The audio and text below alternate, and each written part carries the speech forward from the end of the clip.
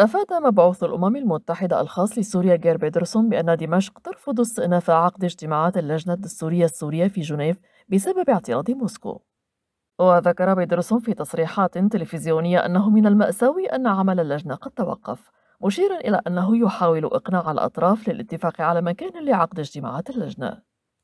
وأكد على أن العملية السياسية في سوريا تواجه أزمة عميقة ولا يمكن معالجة الأزمات الأخرى إذا لم يتم حل الأزمة السياسية.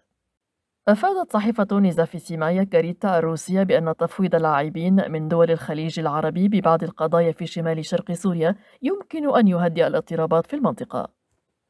وأوضحت الصحيفة أن الوجود الخليجي القوي في شمال شرق سوريا سيكون منطقيا نظرا للنزاعات العرقية التي هزت المنطقة بالسنوات الأخيرة. وأشارت إلى أن القبائل العربية التي تعارض الهيمنة الكردية بالمنطقة لديها روابط عائلية مع قبائل الخليج معتبرة أن سعي قسد لافتتاح ممثليات لدى مجلس التعاون الخليجي يأتي على خلفية توعد تركيا بشن عملية برية في مناطق سيطرتها. مدد الرئيس الأمريكي جو بايدن حالة الطوارئ الوطنية المرتبطة بأفعال النظام السوري التي تنتهك حقوق الإنسان في سوريا وتهدد الاستقرار في المنطقة العربية.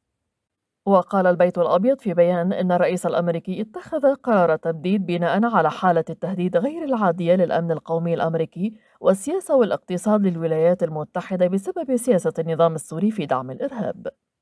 شن الطيران الحربي الإسرائيلي غارة جوية فجر اليوم الخميس مستهدفا موقعا بمحيط السيدة زينب في ريف دمشق. وأوضحت وسائل إعلام إيرانية أن إسرائيل استهدفت موقعا لقوات حركة النجباء العراقية جنوب العاصمة دمشق. ومن جهتها ذكرت وزارة الدفاع السورية أن الطيران الإسرائيلي شن هجوما من اتجاه الجولان مستهدفا أحد الأبنية بريف دمشق ما أدى لخسائر مادية. نفذت دوريات من شعبة معلومات الجنوب في الأمن العام اللبناني حملة واسعة في النبطية ومنطقتها لقمع المخالفات ومراقبة العمالة السورية وأقفلت عدة محال تجارية ومؤسسات وختمتها بالشمع الأحمر وأوقفت أصحابها. وأعلنت المديرية العامة للأمن العام في لبنان أنها وضعت استراتيجية تتضمن خريطة طريق لضبط وتنظيم ملف اللاجئين السوريين الموجودين على الأراضي اللبنانية. وفي السياق رأى الباحث في منظمة هيومن رايتس ووتش رمزي قيس أن السلطات اللبنانية غير جادة بشأن أي حل لأزمة اللاجئين السوريين في لبنان. وقال قيس إن المقترحات الحكومية اللبنانية بشأن اللاجئين السوريين ترقى إلى عمليات الترحيل الموجزة التي تنتهك القانون الدولي في إشارة إلى مبدأ عدم الإعادة القسرية.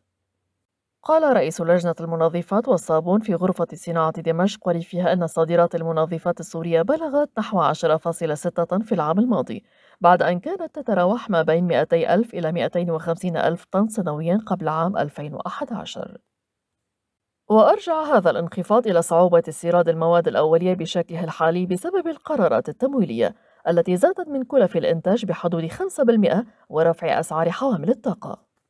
وفي السياق كشف عضو لجنة تجار ومصدري سوق الهال في دمشق محمد العقاد عن عزوف الكثير من مصدري المنتجات الزراعية عن التصدير إلى دول الخليج بسبب مشكلات عند معبر نصيب جابر الحدودي مع الأردن متوقعا أن يؤثر ذلك سلبيا على الإنتاج الزراعي في المواسم المقبلة.